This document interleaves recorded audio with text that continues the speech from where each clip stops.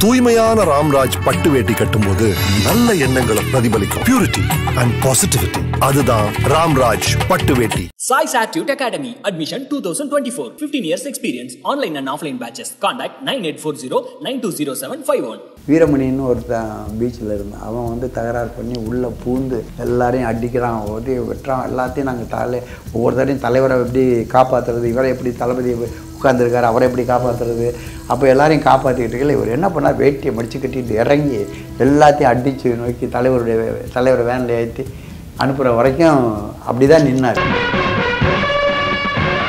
நல்ல பேனா பெருசாக இன்றைக்கும் அறிவாலயத்தில் இருக்கும். நியூஸ் டிக்ளேர் ஆகி ஒரு த்ரீ ஹவர்ஸில் ஒரு ஒரு லட்சம் பேர் இருப்பாங்க அந்த ஏரியாவில். ஃபுல்லாக அப்படி போக முடியல. உள்ள. கூட்டம்னா கூட்டம் கிடையாது அது. வெறி பிடிச்ச தொண்டர்கள் வெறி பிடிச்ச கட்சிக்காரங்க. அவரும் ஒரு உயிர் தானே நானும் என் உயிரும் அவர் உயிரும் எல்லாம் ஒன்று தானே? அவருக்கு ஏற்படுறது எனக்கு ஏற்பட்டா என்ன அப்படின்ற மாதிரிங்கிற ஒரு எண்ணத்தில் இவரே ஜம்ப் பண்ணுவார் இவரே ஆக்ஷன் பண்ணுவார்.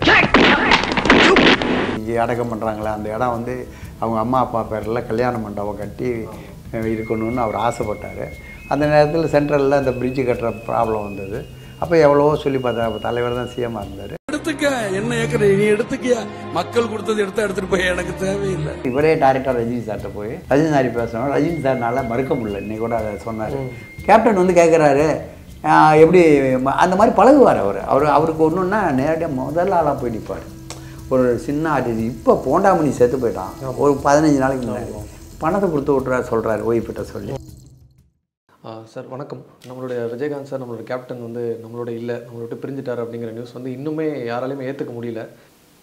இது மாதிரி ஒரு தோட்டத்தை தந்து பா அந்த டைம் அந்த ரெண்டு ஹவர் மூணு ஹவர் தான் அந்த தகவல் வெளியே நியூஸ் டிக்ளேர் ஆகி ஒரு த்ரீ ஹவர்ஸில் ஒரு ஒரு லட்சம் பேர் இருப்பாங்க அந்த ஏரியாவில் ஃபுல்லாக அப்படி போக முடியல. உள்ளே பார்த்தா போலீஸ் அடி இங்கிட்ட அடி அங்கிட்ட அடின்னு காரு நம்ம கொஞ்சம் தெரிஞ்ச மூஞ்சிங்கிறதுனால கொஞ்சம் கொஞ்சம் விட்றாங்க. இருந்தாலும் ரொம்ப போட்டு நெருக்கிறாங்க. பக்கத்தில் பார்த்தா போலீஸ்காரங்க நாலு பேர் அடிபடுறாங்க. அடி ரசிகர் ரசிகர்கள் வாங்கி குச்சி அடிக்கிறாங்க. ரெண்டு மூணு பேர் கால் உடஞ்சி போச்சு. அண்ணா இறந்த நேரத்தில் ஒரு கூட்டத்தை பார்த்துருக்கோம். அண்ணா இறந்த நேரத்தில் பெரிய கூட்டம் பார்த்துருக்கோம். தலைவர் இறந்த நேரத்தில் அந்த மீடியா வந்ததுக்கப்புறம் அந்த கூ இரங்கல் கூட்டம்லாம் ரொம்ப கம்மியாயிடுச்சு. ஏன்னா எல்லாரும் மீடியாவில் பார்த்துடுறாங்க வீட்டில் பார்த்துடுறாங்க. அதனால் வந்து நேராக போய் பார்க்கணுங்கிற ஒரு அத்தியாவசியம் இப்போ இல்லை. அண்ணா இறந்த நேரத்தில் மீடியா இல்லை. அவ்வளோ மீடியாக்கள் இல்லை. அதனால் கூட்டம் எங்கே பார்த்தாலும் கூட்டம். பி- அந்த சைடு மவுண்ட் ரோடு இது வரைக்கும் உங்களுக்கு தௌசண்ட் லைட்டு தேனாம்பேட்டை வரைக்கும் கூட்டம் இருந்தது. அங்காவும் அவன் ரோட்டில் படுத்து கிடந்தான். ராஜாஜி காலில் இந்த பக்கம் பார்த்தீங்கன்னா சென்ட்ரல் வரைக்கும் ரோட்டில் படுத்து கிடந்தான். அந்த மாதிரி கூட்டத்தை நான் பார்த்துருக்கேன். அதே மாதிரி கூட்டம் நேற்று நைட்டு நான் ஒரு பதினோரு மணி பன்னெண்டு மணிக்கு அங்கேருந்து வரேன். அவ்வளோ வெளியூர்லேருந்து இந்த செங்கல்பட்டு நாத்தார்காடு அந்த ஏரியாவுலேருந்து வந்தவங்க. வந்து படுத்து அப்படியே படுத்து கிடக்குறாங்க எல்லாம். பார்க்க முடியும் முடியல கூட்டம் குறைஞ்சோன்னு பார்க்கலான்ட்டு. அந்தளவு ஒரு கூட்டத்தை வந்து பெரிய அவருடைய எண்ணம் அவருடைய அன்னதானம் அவருடைய ஒரு எதையுமே சமாளிக்கக்கூடிய சக்தி அதனுடைய ஒட்டுமொத்தம் கட்சி தொண்டர்கள் நடிகர்கள் இது, திரைத்துறையினர் அரசியல் இது இது எல்லாமே ஒன்றாயிடுச்சு எல்லாருக்கும் அந்த மாதிரி ஒன்று அமையாது. தலைவருக்கு பொன் விழா எடுக்கணும்னு சொல்லிட்டு நாங்கள்லாம் முடிவு பண்ணல பெரிய பெரிய ஏவிஎம் அந்த மாதிரி இப்போ சினிமாவில் முத்தா சீனிவாசன் அந்த கேஆர்ஜி இப்படி தலைவர்கள்லாம் போய் பார்த்து தலைவருக்கு வந்து பொண்ணு விழா எடுக்கணும் அப்படின்னு. எல்லாரும் அந்த அம்மா சிஎம்மாக இருக்காங்க. நாங்கள் வந்து விழா எடுக்கிறதுக்கான வேலைகளை செஞ்சுக்கிட்டு இருக்கோம். தலைவர்கிட்ட போய் சொல்லிட்டோம். இவங்கெல்லாம் ஒத்துக்கிட்டாங்க பெரிய பெரிய ஆளுகள். அந்த சினிமாவில் இருக்க இண்டஸ்ட்ரியில் பெரிய அவர் ஓகேப்பா சந்தோஷம். எடு எடுக்கிறதுனா ஓகேன்னா அவர் ஒப்புதல் வாங்கணும்ல. அவர் ஒப்புதல் கொடுத்துட்டாரு. கொடுத்துட்டு ஒரு ரெண்டு நாள் கழித்து பார்த்தா ஒவ்வொருத்தர்ட்டேருந்து ஃபோன் வருது. எனக்கு கேப்டனுக்கு அவர்கிட்ட பேச மாட்டாங்க. என்கிட்ட சந்திரசேகர்கிட்ட எல்லாம் பேசி ஏம்மா இந்த மாதிரி எலெக்ஷன் வருது. இப்போ போய் நீங்கள் விழாவெல்லாம் எடுக்கிறீங்களே? அப்படின்னா எல்லாரும் பேக் அடிச்சிட்டாங்க. அவாய்ட் பண்ணிட்டாங்க. உடனே நாங்கள் என்ன பண்ணோம் நாங்கள்லாம் கூடி என்ன பண்ணுறதுன்னா தியாகு என்ன பண்ணால் அவர் தியாகெல்லாம் ரொம்ப பெட்டு கேப்டனுக்கு ரொம்ப கூடவே இருப்போம். நல்லா. உடனே நம்மளே நடிகர் சங்க தலைவர் ஆகிட்டார் அப்போ. நடிகர் சங்க தலைவராக இருக்கிறதுனால அவரே போய் நம்ம கேட்டு அவர் தலைமையில் விழா எடுப்போம். அப்படின்னு சொல்லி முடிவு பண்ணி நாங்கள் போய் கேட்டோம். கேட்ட உடனே அவர் அப்போ கட்சியெல்லாம் ஆரம்பிக்கல. கட்சியெல்லாம் ஆரம்பிக்காத காலம். எல்லாரும் ராவுத்தர் அவங்க கூட இருக்கவங்கெல்லாம் கொஞ்சம் என்னத்துக்கு ஒரு அரசியல் சாயம் வந்துருமே அப்படி இப்படி சொல்லுவோம் சொன்னாங்க. அவர் அதை பற்றிலாம் கவலைப்படல. உடனே நான் தலைவராக இருக்கேண்ணே. நீங்கள் செக்ரட்டரியாக இருங்க நீங்கள் பொருளாளர் நீ இப்போ நாங்களே ஒரு குரூப் மாதிரி வச்சுட்டு சத்யராஜ் சிவகுமார் எல்லாம் சேர்த்துக்கிட்டு உடனே வசூல் பண்ணி அந்த டேட்டை ஃபிக்ஸ் பண்ணி பெருசாக பீச்சில் நடத்தணும் பேனா அப்போ என்ன பண்ணால் பணம் நிறைய ஆயிடுச்சு வசூல் பண்ணதில். இவ்வளோ பணத்தை வச்சு என்ன பண்ணுறது அவருக்கு என்னத்தை கொடுக்குறது? சால்வை அது ஸ்டேஜ் செலவு. அதுவும் நம்ம ஆர்ட் டைரக்டர் நம்ம பெயிண்டர் எல்லாமே சினிமா சம்மந்தப்பட்டவங்க தானே. கச்சேரின்னா தேவா என்ன பண்ணார்? நீ கொடுக்குறத கொடுமான்னாரு அங்கிட்டு கங்கையமரம் மூணு கச்சேரி. கங்கையமரம் நீங்கள் கொடுக்குறத கொடுங்க அப்படிம்பாரு. அதனால பணம் எங்களுக்கு செலவு கம்மி. வருமானம் வசூல் நிறைய அதிகமாகிடுச்சு உடனே கேப்டன் என்ன பண்ணார்? அவர் எப்போவுமே பேனா பிரியர். பேனாவை கையிலே வச்சுட்டு இருப்பாரு. அதனால் ஒரு பேனா தங்க பேனாவே கொடுத்துருவோம். அப்படின்னு ஆறடி உயரத்துக்கு ஒரு பேனாவே ரெடி பண்ணி க தங்கத்தில். அது கோட்டிங் தான் வச்சுங்களேன் கொஞ்சம் பவுனும் கொஞ்சம் வெள்ளி எல்லாம் மிக்ஸ் பண்ணி நல்ல பேனா பெருசாக இன்றைக்கும் அறிவாலயத்தில் இருக்கும். அந்த பேனாவை கொடுத்தோம் பீச்சில் அப்போ கொஞ்சம் பேர் அதே தகராறுலாம் வந்துச்சு. அதெல்லாம் சமாளித்தோம் அப்போது வீரமணின்னு ஒருத்தன் பீச்சில் இருந்தான். அவன் வந்து தகராறு பண்ணி உள்ளே பூந்து எல்லாரையும் அடிக்கிறான் ஓடி வெட்டுறான். எல்லாத்தையும் நாங்கள் தலை ஒவ்வொரு தடையும் தலைவரை எப்படி காப்பாற்றுறது இவரை எப்படி தளபதி உட்காந்துருக்காரு அவரை எப்படி காப்பாற்றுறது மந்திரிகளை எப்படி காப்பாற்றுறது மற்ற முன்னாள் அமைச்சர்களை எப்படி காப்பாற்றுறது வந்த விஐபிகளை எப்படி காப்பாற்றுறது எல்லாம் குடும்பத்தோடு வந்திருக்காங்க எல்லாம். நாங்கள் கொடுத்த அறிக்கையே அப்படி தான் ஒவ்வொரு இவங்களும் குடும்பத்தோடு வரணும்னு. பீச்சு பயங்கர கூட்டம். அவங்களெல்லாம் அப்போ பிடிச்ச சேர் கீரெல்லாம் உடஞ்சி நாசமாயிடுச்சு. அப்போ எல்லாரையும் காப்பாற்றிக்கிட்டு இவர் என்ன பண்ணார்? வேட்டியை மடிச்சு கட்டிட்டு இறங்கி எல்லாத்தையும் அடித்து நோக்கி தலைவருடைய தலைவரை வேனில் ஏற்றி அனுப்புகிற வரைக்கும் அப்படி தான் நின்னார். அது மாதிரி உங்களுக்கு தைரியம் நம்ம ஒரு ஆர்டிஸ்ட் ஆச்சு ஏதாவது ஒன்று பட்டுருச்சுன்னா எவனா ஒருத்தன் கீறிட்டான்னா என்ன ஆகுறது? அப்ப அது அந்த பயமெல்லாம் இல்லாத மனிதர். ஒரு ரொம்ப சிறப்பு வாய்ந்த மனிதர். அதில் அது தைரியமாக பண்ணார். அதுக்கப்புறம் அதே மாதிரி நெய்வேலி போராட்டம். அது மாதிரி போராட்டங்கள்லாம் நிறையா பண்ணார். அவருக்கு வந்து யார் வேணாலும் கோவம் அதிகமாக வரும். ப்ரெஸ்ஸு அதாவது கேள்வி கேட்டாங்கன்னா கோச்சிக்கிறாரு என்ன மணி? தேவிமணி பாண்டியன் இப்போ திருந்தி பாண்டியன் ஏதாவது ஒரு கேள்வி கேட்பாங்க. ப்ரெஸ்ஸை மீட் பண்ணுவார். ப்ரெஸ்ஸை வந்து அவர் ரொம்ப பிடிக்கும் அவருக்கு. சாயங்காலம் ஆச்சுன்னா ப்ரெஸ்ஸுக்காரங்க பத்து பேர் இருப்பாங்க அவங்க ஆஃபீஸில் இவருடைய செய்திகள் அதிகமாக வரும். இந்த சினிமா ஷூட்டிங் நேரத்தில் என்ன நடக்குறது செய்திகள் வந்து பிட்டு பிட்டு நியூஸ் வந்து நிறையா வரும். அப்போ வந்து தந்தி தானே உங்களுக்கு? தந்தி மாலை முரசு ரெண்டு மூணு பத்திரிக்கை தானே? மீடியான்னு எடுத்திங்கன்னா நாலே மீடியா தான். ஒளி ஒளிங்கிற மாதிரி ஒரு சாஃப்ட்வேரை சன் டிவிக்கு கொடுப்போம் கவுன்சிலில் இருந்து. சன் டிவி கேட்டாங்க. தலைவர் வந்து ஏப்பா செக்ரட்டரியாக இருக்க நீ அதை வாங்கி கொடுன்னு சொல்லி கேட்கல அது வந்து தூர்தர்ஷனுக்கு நாங்கள் பணம் கொடுத்து போட்டுக்கிட்டு இருந்தோம் தயாரிப்பாளர். அது வந்து இது கேப்டன் பற்றி இல்லை. கேப்டன் வந்து அது என்ன பண்ணாருன்னா இந்த பிரச்சனை வரையில் ஒரு ப்ரொடியூசர் சன் டிவி ஒரு சேனல்னால சேனலில் அவருக்கு ஒரு சேனலில் ஒரு சாஃப்ட் இது ஓடிக்கிட்டு இருக்கு சீரியல் ஓடிக்கிட்டு இருக்கு அவர் வந்து தலைவராக இருக்கார். நான் செக்ரட்டரியாக இருக்கேன். நான் வந்து இந்த ஆக்ஷன் எடுக்கிறேன். தலைவர் வந்து வேற என்ன? டிஜி தியாகராஜன். அவர் சத்யஜோதி ஃபிலிம்ஸ் அவர் ஆரம் வீரப்பனுடைய மருமகன் அவர். அவர் வந்து தலைவராக இருக்கார். அவருக்கு நம்மளுக்கு பிரச்சனை வந்து கோர்ட்டு மூலியமாக கவுன்சிலை பூட்டிட்டாங்க. நாங்கள் எங்களுக்கு அந்த அளவுக்கு அனுபவம் கிடையாது. அந்த கோர்ட்டு கிட்டு மேலே போகல. நாங்கள் வந்து டேரெக்டாக ஃபைட் பண்ணிக்கிட்டு இருக்கல அது பூட்டாங்க. இவர் உடனே எனக்கு ஃபோன் பண்ணார். நீங்கள் வந்து கவுன்சிலை வந்து நடிகர் சங்கத்தில் நான் இடம் தர்றேன். நீங்கள் வந்து நடிகர் சங்க கவுன்சில் இங்கே நடத்துங்கன்னாரு. அப்போ நான் மறுநாள் காலையில் கவுன்சில் வரவு செலவு பஞ்சாயத்து எல்லாத்தையும் நடிகர் சங்கத்தில் நடத்தணும். நடிகர் சங்கத்துக்கும் ப்ரொடியூசர் கவுன்சிலுக்கும் தான் பிரச்சனையே வரும். நடிகருக்கு பணம் கொடுக்கல அப்படின்னா நாங்கள் நடிகர் சங்கத்தில் போய் ரிப்போர்ட் பண்ணுவோம். இந்த ரெண்டையும் ஒரே இடத்துல உட்கார வச்சு ஒரே இடத்துல பஞ்சாயத்து பண்ணுவார்.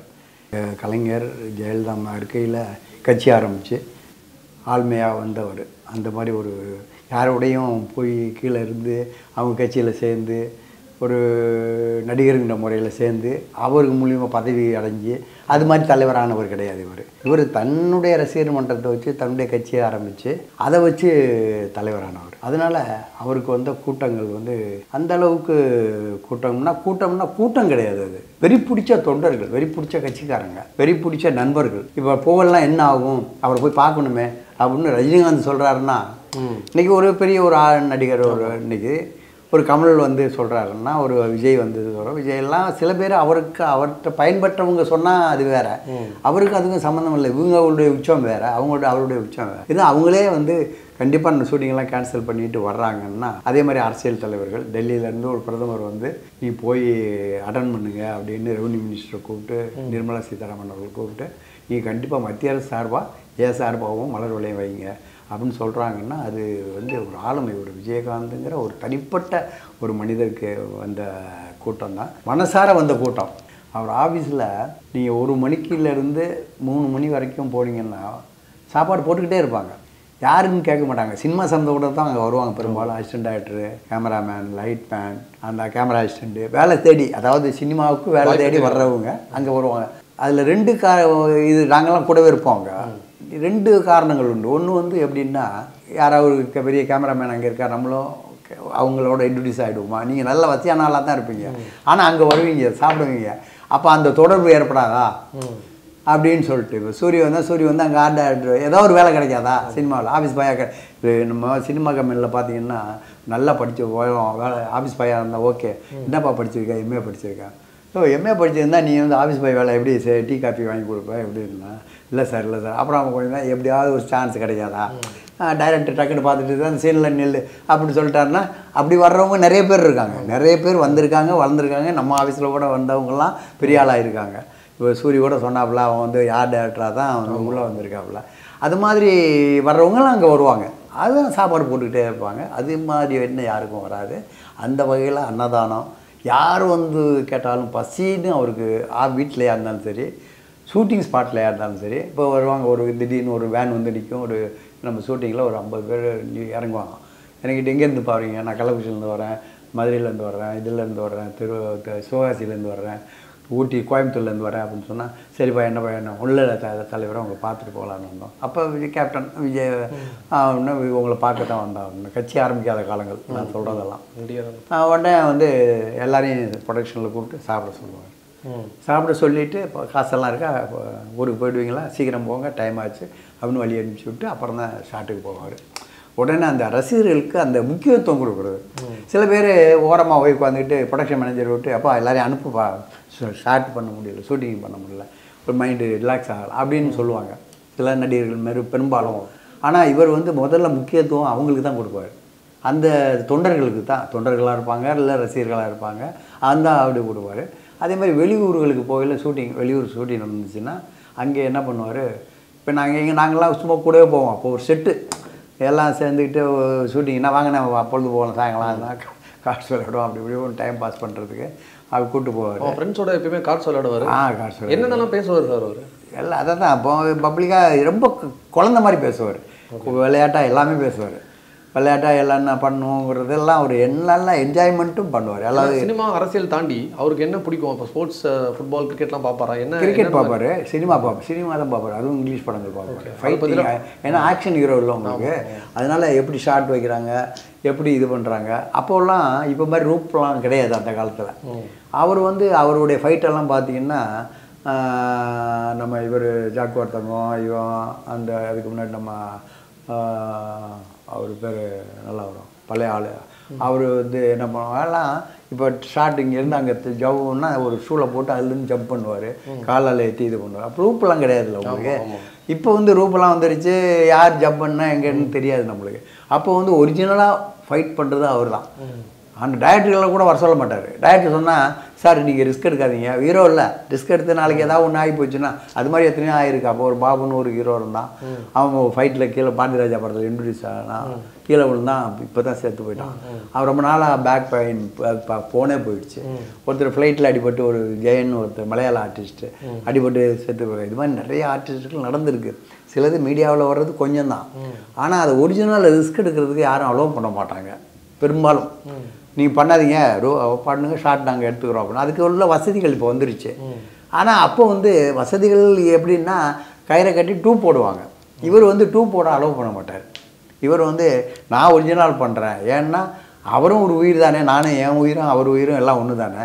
அவருக்கு ஏற்படுறது எனக்கு ஏற்பட்டா என்ன அப்படி இந்த மாதிரிங்கிற ஒரு எண்ணத்தில் இவரே ஜம்ப் பண்ணுவார் இவரே ஆக்ஷன் பண்ணுவார். அது மாதிரி ஒரு வெறி பிடிச்ச ஒரு சினிமா அவர் ஹேபிட் அவர் ரெண்டாவது படங்கள் பார்ப்பார் நிறைய படங்கள் பார்ப்பார். புக்கு வந்து அவர் படிக்கலை அவர் ஏழாவது இப்போ நான் எங்கெல்லாம் நாங்கள்லாம் ஒரே செட் ஏழாவது எட்டாவது தான் படித்தவங்க நாங்கள்லாம் எயிட் ஸ்டாண்டர்டுக்கு மேலே தாண்டினது கிடையாது. நான் அரசியலுக்கு வந்துட்டோம் அப்புறம் சினிமாவுக்கு வந்துட்டோம் அப்புறம் அவர் வந்து சினிமா அவர் அரசியல் மில்லில் இருந்தார். அவங்க அப்பா வந்து ஒரு கவுன்சிலரு காங்கிரஸ் கட்சியினுடைய கவுன்சிலரு மதுரையில். மில்லு ஒன்று வச்சுருந்தாங்க. அதில் வந்து மூட்டையெல்லாம் தூக்கி போட்டு அரைப்பாங்கல்ல. அந்த வேலையெல்லாம் கூட தொண்டை தொழிலாளர்களோட சேர்ந்து பண்ணிக்கிட்டு இருந்தவர் அதனால் அந்த உழைப்பு சினிமா சினிமான்ட்டு வெறி பிடிச்சி அங்கேருந்து வந்து இங்கே ஒரு ஜாவா தான் அவருக்கு. ஜாவாவில் வந்து எல்லா ஆஃபீஸுக்கும் ரவுண்ட் அடிச்சுக்கிட்டே இருப்பார். ஏதாவது வாய்ப்பு கிடைக்குமா வாய்ப்பு கிடைக்கும் அப்போ நான் காஜாவை வச்சு எம்ஏ காஜான்னு ஒரு டேரக்டர் இருந்தார். அவரை வச்சு படம் பண்ணிகிட்டு இருந்தேன் ரெண்டு படம். அப்போ வந்து அவர்கிட்ட வந்து எனக்கு ஏதாவது கொஞ்சம் வாய்ப்பு கொடுங்களேன். ஏதாவது இல்லைப்பா அதில் சின்ன சீன் தான் இருக்குது ரெண்டு சீன் தான் இருக்குது நீங்கள் வந்து ஹீரோ ஆகணும்னு நினைக்கிறீங்க அப்படின்னு சொல்லி இல்லை இல்லை இல்லை நான் பண்ணுறேன் அப்படின்னு பண்ணார். இன்னைக்கிழமையில ஒரு கே மெக்கானிக்காக வருவார் ஏசி மெக்கானிக்காக வருவார். அதுக்கப்புறம் ஒரு படம் அப்படி அப்படி சின்ன சின்ன கேரக்டர்லாம் பண்ணி பண்ணி தான் அதுக்கப்புறம் சட்டம் உருட்டாடி தான் அவருக்கு ஒரு பெரிய நேம் வந்து. அந்த மாதிரி வந்து அவருக்கு ஹேபிட்டு உங்களுக்கு சினிமா பார்க்குறது அதுக்கப்புறம் தமிழர்கள் தமிழ் சைடு ஏதாவது என்ன பிரச்சனைனாலும் போய் அங்கே மீட்டிங்கில் பேசுகிறது இலங்கை தமிழர். அப்போ அது ஒரு பெரிய ப்ராப்ளமாக இருந்தது. இலங்கை தமிழர் மேட்ரு அதுகளில் போய் த மீட்டிங்லாம் கலந்துக்கிறது கொள்வது எங்களையெல்லாம் கூப்பிட்டு போய் அந்த மீட்டிங்லாம் பார்க்க சொல்கிறது உண்ணாவிரதம் இருக்கிறது. அப்புறம் இந்த இது காவிரி மேட்ரு ஒன்று வந்தது. அந்த நேரத்தில் காவிரி பிரச்சனை. அதை வந்து ஒரே ஒன்று ஒன்று சாயங்காலம் அவனுக்கு அவருக்கு வந்து ஷூட்டிங் இல்லையாமல் இருந்தால் பிடிக்காது. ஷூட்டிங் இருக்கணும் டெய்லி வேலை இருந்துகிட்டே இருக்கும் வேலை இருந்துக்கிட்டே இருக்கணும். வேலைனா ஒரு படத்தை வந்து அறுபது நாள் எழுபது நாள் ஒரு ஹீரோ எடுத்துக்கிடுவாங்க இவர் வந்து மேக்ஸிமம் முப்பது நாள் நாற்பது நாள் தான் எடுத்துக்கிடுவார். ஃபார்ட்டி டேஸில் முடிச்சு கொடுத்துருவார். ஒரு படத்தை முடிச்சு கொடுத்துருவார். அதுக்கப்புறம் டப்பிங் மூணு நாள் அவ்வளோதான் படம் ஓவர் அதனால ஒரு வருஷம் ஃபுல்லாக பதினெட்டு படம் பண்ணியிருக்காங்க அதான் ஒரு வருஷத்தில் பதினெட்டு படம் பண்ணி கரெக்ட் பதினெட்டு படம் பண்ணியிருக்காருன்னா பார்த்துங்க எப்படின்னு. இப்போ ராமநாராயண் ஒரு டேரக்டர் இருந்தார். அவர் கிட்டத்தட்ட பதினேழு படம் எடுத்தார். அவர் இப்போ கொஞ்சம் ஃப்ரீயாக இருந்து கேப்டன் ஃப்ரீயாக இருக்கார் ஒரு பத்து நாள் ஃப்ரீயாக இருக்காருன்னா ஒரு படம் ஒரு கதை ரெடியாக வச்சிருப்பாரு. அவர் டக்குன்னு கேப்டன் வாங்கன்னா அவர் வந்துடுவார் சம்பளத்தை பற்றியே பேச மாட்டார்.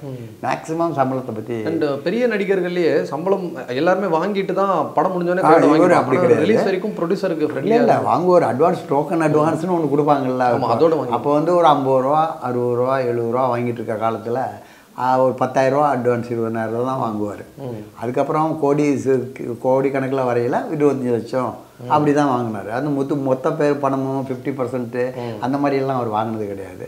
பெரிய லெவலில் வரையில நான் கண்டுபிட பண்ணையில் ஒன்றரை ரூபா தான் வாங்கினார் அவர். தெரிஞ்சவங்க மற்றவங்கள்லாம் ரெண்டு ஆளுகளை பொறுத்து அவர். சம்பளம்னு பேசவே மாட்டார். நீங்கள் கொடுக்குறது உனக்கு உங்களுக்கு என்ன ஒர்க் அவுட் ஆகும்? உங்கள் பட்ஜெட் என்ன? அவர் கேட்குறதே உங்கள் பட்ஜெட் என்ன? என்ன லாபம் வரும்? லாபம் வருமா? ஓகே பண்ணுங்க. அப்படின்றார். அது மாதிரி லாஸ்ட் படம் வந்து ரிலீஸ் நேரத்தில் ஏதாவது ப்ராப்ளம் வருது ஒரு ப்ரொடியூசருக்கு அப்படின்னா அந்த எங்களுக்கு கொடுக்குற பணத்தை நீங்கள் அப்புறம் கொடுங்க. அப்படின்னு சொல்லிட்டு படத்தை படத்தை நிப்பாட்டவே மாட்டார். என்ன அந்த ஒரு ஹீரோ எல்லா ஹீரோவும் நான் வந்து செக்ரட்டரியாக நாலு வருஷம் இருந்திருக்கேன் வைஸ் பிரசிடண்டாக இருந்திருக்கேன் தயாரிப்பாளர் சங்கத்தில். விநியோக சங்கத்தில் பவுண்ட்ரி செக்ரட்டரி நான் தான் செக்ரட்டரி இதுவும் பவுண்ட்ரி செக்ரட்டரி கவுன்சிலிங் நாங்கள் தான் ஆரம்பிச்சது நான் தான் ஆரம்பித்தேன் அந்த மாதிரி அதனால் நிறைய தொடர் பிரச்சனைகள் வரும். அப்போ வந்து இவர் வந்து நடிகர் சங்க தலைவராக இல்லைன்னா கூட இவர் தான் அந்த ஒரு குரூப்புக்கே ஒரு தலைவர் மாதிரி இருப்பார். கேப்டன்ங்கிறது கேப்டன் கேப்டன் வரல அது நூறாவது படத்தில் தான் வந்தது. அதுக்கு முன்னாடியே விஜயகாந்தில் போனால் கரெக்ட் பண்ணி விட்ருவார் செட்டில் ரைட் பண்ணி விட்ருவாருன்னு உங்களுக்கு எனக்கு என்ன பிரச்சனை? கேமராமேனுக்கு உங்களுக்கு என்ன பிரச்சனை? சரிப்பா கேமராமேன் கொஞ்சம் குறைச்சிக்கங்க. சம்பளம் அதிகம். இருபத்தஞ்சாயிரரூவா அதிகம். இன்னொரு அஞ்சு ரூபா குறைச்சிக்கங்க. அதே மாதிரி ஆர்ட் டைரக்டர் குறைச்சிக்கோ.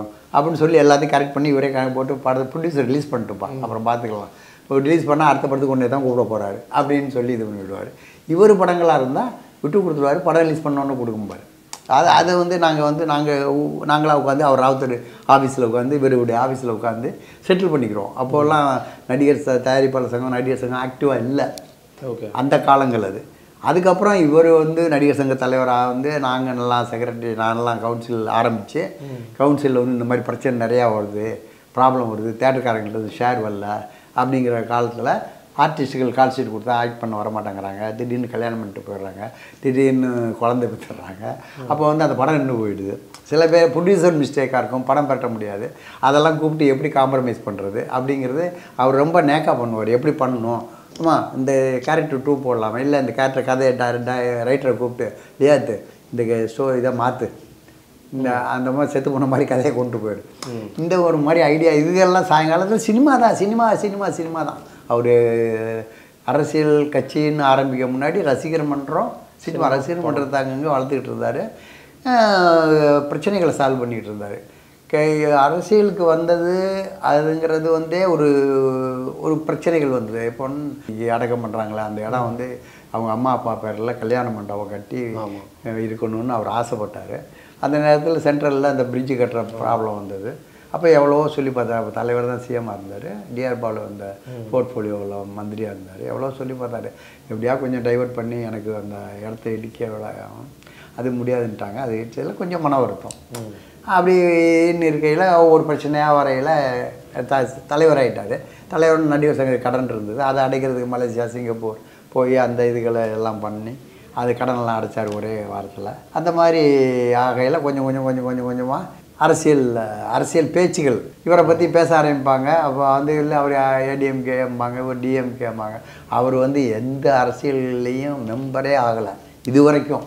அவர் வந்து கலைஞருக்கும் நண்பர். கலைஞர் அவருக்கு ரொம்ப பிடிக்கும். ரொம்ப பிடிக்கும். கலைஞர் வந்து விஜய் விஜய் விஜய்னு ரொம்ப பிடிக்கும். எப்போ பார்த்தாலும் ஏன்னா அதுக்கு காரணங்கள் என்னென்னா வர வர அவர் வந்து நடிகராகி ஓரளவு ஒரு கோடி ரூபா சம்பளம் வாங்குற ஸ்டேஜ் வந்த உடனே அவர் அறுபது எழுபது ரூபா சம்பளம் வாங்குற நேரத்தில் இந்த மாதிரி வெள்ளம் வருது மழை வருது அப்படின்னா என்ன பண்ணுவார் கா- தலைவர்கிட்ட ஒரு டேட் வாங்க அப்பாயின்மெண்ட் வாங்க எதுக்கு தம்பின்னு கேட்பேன் நான். இல்லை இந்த வெள்ளம் வந்திருக்கு. கவர்மெண்ட் ஒரு டொனேட் பண்ணிட்டு வருவோம் நம்ம போய். ஃபஸ்ட்டு இந்த கவர்மெண்ட்லேருந்து அலோஸ் பண்ணாத நேரம். அலோஸ் பண்ணல. ஆமாம் முன்னாடியே நேராக போயிட்டு நான் சொல்லுவேன் அந்த மாதிரி விஜய் கேப்டன் வர விஜய் வரேன் இருக்கார் கேப்டன் விஜயகாந்த் வரோம் வர சொல்லுப்பா இப்போ. அவர் கலைஞரை பொறுத்தவரை சினிமாக்காரங்கன்னா எனி டைம் அப்பாயின்மெண்ட்டு அந்த மாதிரி ஒரு அவர் ஒரு சினிமாக்காரங்கன்னா அவ்வளோ யார் வேணாலும். இப்போ நீங்கள் ஒரு கேமராமேன் பார்க்கணும் இந்த கலைஞரை பார்க்கணும் நான் போய் சொல்லி இந்த மாதிரி தம்பி வர்றாங்கப்பா. வர சொல்லு விவேக் வந்து கேட்பான் பார்க்கணும் பேசணும். பொண்ணை வர சொல்லு தவக்குலை அவன் ஒன்று வர சொல்லுவான் அது யாரையுமே அவர் அவாய்ட் பண்ண மாட்டார். சினிமாக்காரங்களுக்கு மேலே ஏன்னா அவர் சினிமாவிலே வளர்ந்து சினிமாவிலே ஒரு ரெக்கார்ட் பண்ணவர். ஆனால் அவர் ஒரு இதாக படித்து படிக்கலை. பெரிய ஒரு அரசியல் லீடர்ஸில் அந்த ஐவர் குழுவெலாம் எல்லாம் இல்லை. அவர் வந்து அண்ணா வந்து ஒரு நேரத்தில் எல்லாருக்கும் பேரை மாற்றினார் ஆனால் கலைஞருக்கு மட்டும் பேரை மாற்ற முடியல. ஏன்னா இவர் பேர் பாப்புலாரிட்டி ஆயிடுச்சு அதுக்கு முன்னாடி பராசக்தி படங்கள்லாம் வந்து. அந்த மாதிரி எல்லாம் நேரம் ஆனாமல் மாற்ற முடியல. அது மாதிரி சினிமாவுடைய இன்ட்ரெஸ்ட் வெறி விஜய் வர சொல்லும்பார். இவர் போய் டக்குன்னு ஒரு ரெண்டு லட்ச ரூபா செக்கு அஞ்சு லட்ச ரூபா செக்கு கொடுப்பாரு. நிதின்னு சொல்லிட்டு.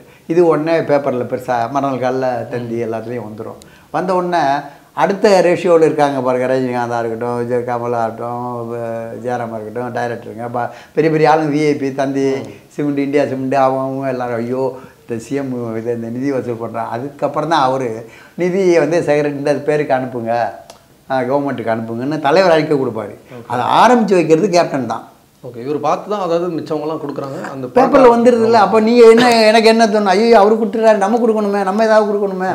அப்படின்னு. இப்போ இப்போ இந்த வெள்ளம் வந்தது ஒருத்தர் கொண்டு அது மாதிரி அவர் ஆரம்பித்து வச்சது கேப்டன் தான். அது மாதிரி ரெண்டு மூணு ட்ரிப்பு சுவாமி வந்த காலத்தில். அந்த மா யார் சிஎம்மாக இருந்தாலும் அதை பற்றி அவர் கவலை இல்லை. அந்த டொனேட் பண்ணி ஆகணும். அது அது அவருடைய கொள்கை. அது மாதிரி வந்து வளர்த்து விட்டு நம்ம கொடுத்தா நாலு பேர் பார்ப்பாங்க. நாலு பேர் பார்த்து நாலு பேர் கொடுப்பாங்க. அப்போ அந்த மக்களுக்கு போய் சேரும். அந்த மாதிரி இது.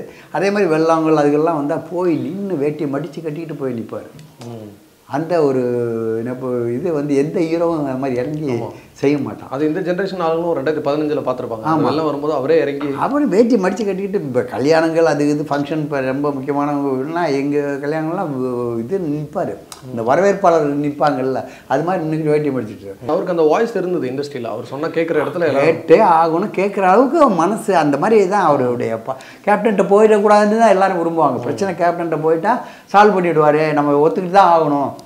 யாருமே அவர் போய் சொன்னால் அதை மீறி செய்கிறதுக்கு ஆள் யாரும் கிடையாது. செய்ய மாட்டாங்க. இப்போ இந்த ஃபங்க்ஷன் நடத்தணுமே மலேசியா சிங்கப்பூர் நடத்தையில் ஒவ்வொருத்தரும் வந்து கமல்லாம் வர மாட்டாருங்க ரஜினி வர மாட்டாருங்க அப்படின்னு எங்கள்கிட்ட வந்து நாங்கள் எங்கள் குழு சாயங்காலம் கூடுவோம் எல்லாம் ஒன்றா இவங்க டிக்கெட் போடு அவர் டிக்கெட் போடு இவர் வர அவர் வர சொல்லி இவர். மொத்த பேர் விஐபி சினிமா நட்சத்திரங்களாக இருக்கிறவங்களுக்கெல்லாம் டிக்கெட் போட்டு மலேசியா சிங்கப்பூர் போட்டு வரணும். சில பேர் ரஜினிலாம் வரமாட்டார் சார் அவருக்கெல்லாம் வேஸ்ட்டு ஏன் டிக்கெட் போடுறீங்க? கமல் வரமாட்டார். அப்போ சரத்குமார் தலைவராக இருக்கார். இவர் வந்து நான் பொறுப்பெடுத்துக்கிறேன். நான் அந்த விழாவுக்கு குழுவுக்கு தலைவராக இருக்கேன். அப்படின்னு சொல்லிட்டு இவரே டைரக்டர் ரஜினி சார்கிட்ட போய் ரஜினி சாரி பேசுகிறோம் ரஜினி சார்னால மறுக்க முடியல. இன்னைக்கு கூட அதை சொன்னார். மறுக்க முடியல. கேப்டன் வந்து கேட்குறாரு எப்படி அந்த மாதிரி பழகுவார் அவர். அவர் அவருக்கு ஒன்றுன்னா நேரடியாக முதல் ஆளாக போய் நிற்பார் ஒரு சின்ன ஆர்டிஸ்ட் இப்போ போண்டாமணி செத்து போயிட்டான். ஒரு பதினஞ்சு நாளைக்கு முன்னாடி.